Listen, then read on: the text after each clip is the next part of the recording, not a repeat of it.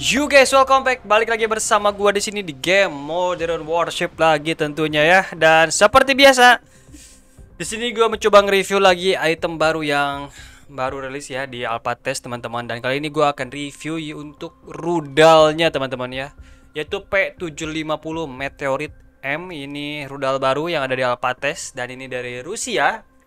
Dan untuk uh, di sini durability-nya 60, damage-nya 26.000 dan speednya kenceng juga nih. 583 dan tembakan persawapannya satu amunisinya 21 ya oke okay lah ya. Dan ini apa nih kata yang kata oke oh katanya dia bisa nembak di bawah air guys ya. Kayaknya kalau kita cobanya di cruiser kurang cocok. Kita akan coba aja si rudal baru ini di di kapal selam aja ya, biar kita bisa nyobain juga apakah benar dia bisa underwater atau tidak teman-teman ya. Oke Mana kita pakai Belgorod aja kali ya. Eh Belgorod nggak ada nggak ada yang bisa kita ganti anjir. Apa ya yang enak ya? Uh, Taigei, Taigei, Snail, Izanami. Izanami aja kali ya. Oke deh kita Izanami aja guys. Mana nih? Meteorit gua mana bre?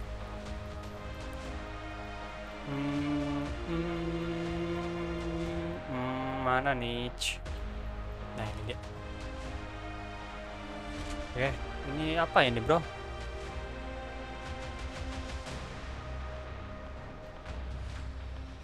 Oke, oke gini aja lah ya. Kita akan langsung coba aja si P750 eh di kapal Izanami teman-teman ya. Mana nih Izanami gue? Nah, ini dia. Oke, let's go guys. Kita cobain meteorit di Izanami. Apakah dia benar bisa underwater misilnya atau tidak ya? Kita akan coba aja teman-teman. Oke. Sip. Draw. Let's go.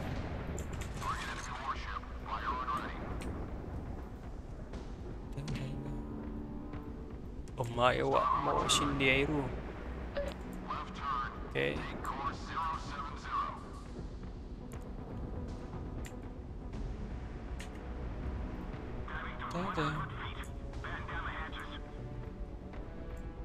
Belum kelihatan guys.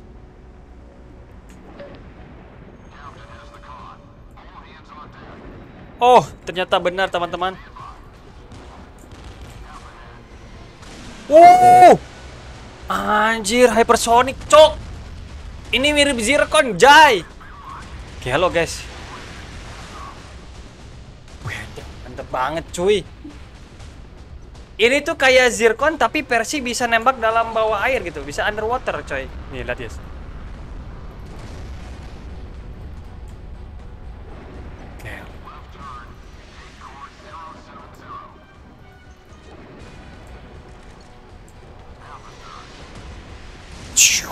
Melesat langsung, bro. Anjir. Mantep guys ini mah, guys. Aduh, ini apa lagi?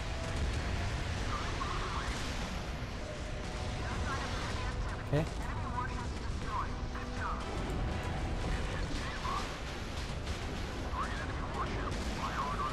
Oh, ini mantep sih guys, sumpah guys ini. Hypersonic kayak gini sih gacor banget sih di kapal selam ya. Cuma kalau ini plus nuklir wah lebih lebih gila sih guys kalau udah nuklirnya ini.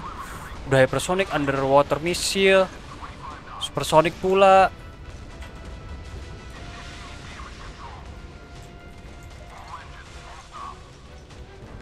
Coba kalau kita dari sini.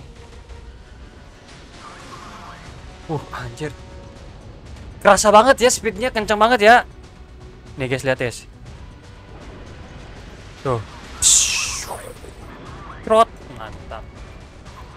Cuman beda tipis sama Zero kalau Zero kan langsung langsung cup gitu langsung melesat. Kalau ini ada kayak ngisi tenaga dulu tapi kerasa lah cepetnya tuh kerasa banget speed kencangnya gitu. Tuh. Memang produk Ruski tuh gak ada yang mengecewakan, Bro.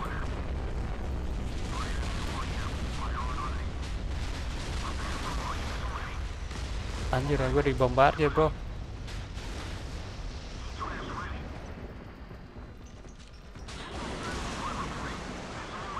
Anjay, mantep, Re. Keren sih guys ini, guys. Wuh.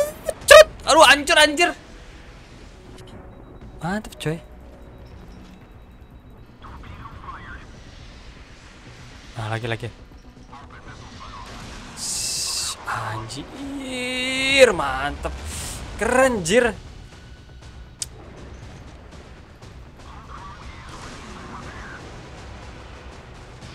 Uh.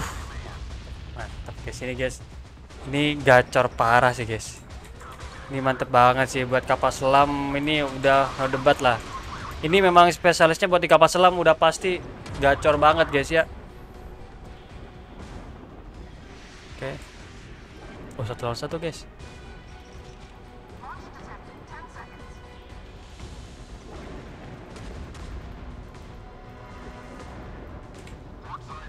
Lawan satu guys.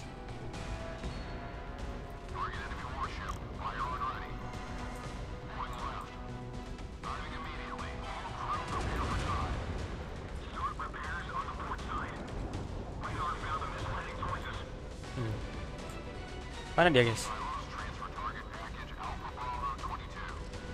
Nih guys. Cerot.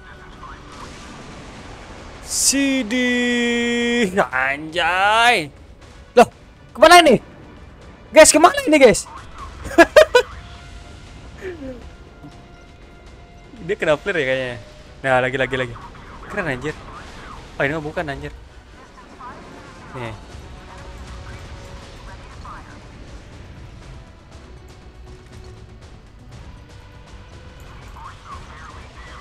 Anjir, habis kah?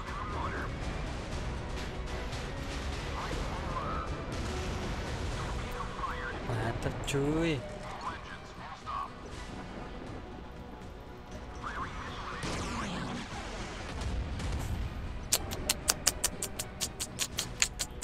Dah ini kita aja guys.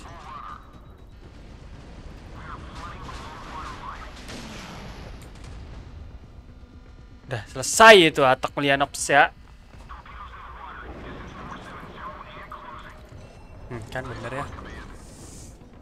Ini keren banget sih seriusan ini. Jadi mungkin nextnya akan jadi kapal eh kapal rudal prima dona ya untuk para user submarine. Kenapa? Karena dia mirip Zircon sih guys kalau gue lihat sekilas ya. Cuman memang gak gak mirip banget tapi ya 11 11 12 lah sama Zircon lah ya.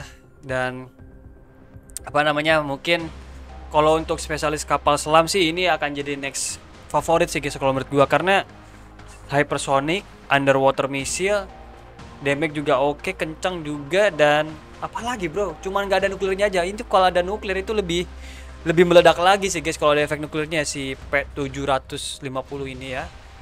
Dan ini mungkin cocoknya ya, menurut gua ini bakalan cocok banget di kapal-kapal yang memang khususnya di kapal submarine sih ini bakal spesial banget sih.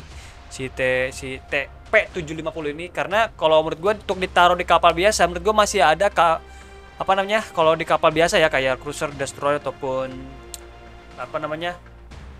Corvette atau fregat gitu ya. Masih banyak rudal-rudal yang sekelas dengan rudal ini yang lebih oke okay menurut gua guys ya.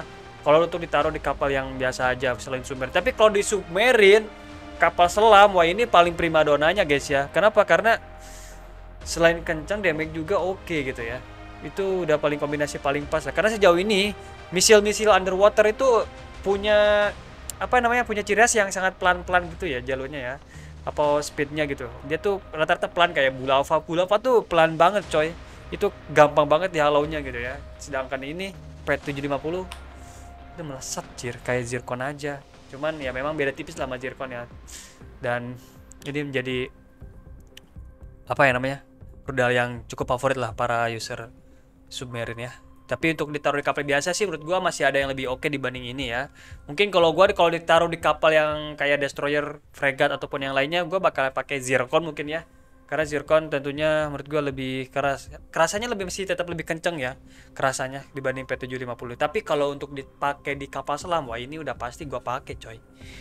Underwater coy masalahnya misil. Karena kapal selam nggak bisa lama-lama di permukaan coy.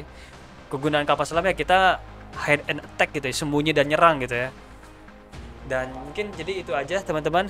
Intinya nih rudal bakalan rekomen banget apalagi khususnya buat para pe- pengguna atau user Submarine ini bakalan mantep banget lah si P750 ini. Cuman ini adanya di Battle Pass nanti ya kemungkinan besar di bulan September ditunggu aja. Dan kalau buat koleksi oke oke aja. Kalau buat didapetin buat ya buat buat coba-coba juga gak masalah sebenarnya guys ya. Karena ini jadi apa pendatang baru lah untuk para pengguna user submarine ya. Apalagi dia sudah kayak gini coy. Kapan lagi coy punya rudal underwater nih misilnya gitu ya. Bisa punya speed sekencang zircon gitu ya. Mantep banget lah ya. Oke oke guys, jadi itu aja mungkin untuk video kali ini reviewnya. Jadi tentunya itu akan sangat rekomend banget P750 buat teman-teman yang mau dapetin dapetin gak akan rugi, yakin banget gua. Dan teman-teman kalau ada yang mau bertanya atau saran atau apa pun itu tulis di kolom komentar di bawah. Nanti gua pasti jawab kalau ada pertanyaan yang memang harus dijawab guys ya. Oke, see you next time kita akan ketemu lagi di video selanjutnya. Ciao. Bye.